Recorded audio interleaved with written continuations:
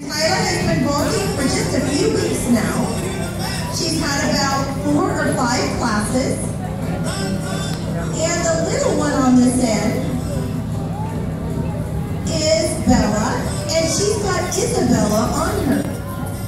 Now Isabella is our new tiny tot.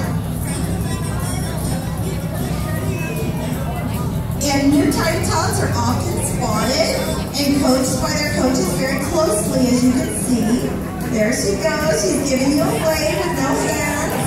Good girl. Woo! On the far end, learning freestyle moves, which are Kyla. different ways to be on her knees or forward or backward.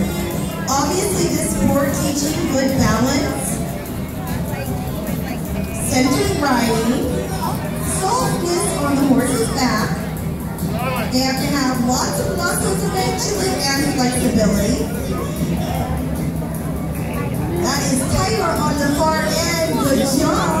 Yeah, Tila! And little Isabella. You can clap for them. Yes, it's fine with the horses. Woo! Good girl. And so you can see that Isabella is learning to ride forward and backward and get comfortable with all that along with a coach at her side.